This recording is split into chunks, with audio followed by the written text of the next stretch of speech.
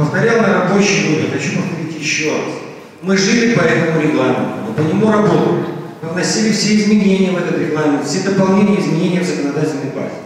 И если, ну, по вашему, так сказать, пути, если идти, то мы должны в этот регламент сложить вообще все то, что сегодня есть, и в регуляторке, и в законе о коррупции и так далее. Если вы будете работать с нами вместе, мы это все сделаем. Но никто ваш э, проект не отклонил, никто его не закрывал для дальнейшей работы. И вчера мы выработали консолидированное решение вместе с вами, вместе со всеми на рабочей группе.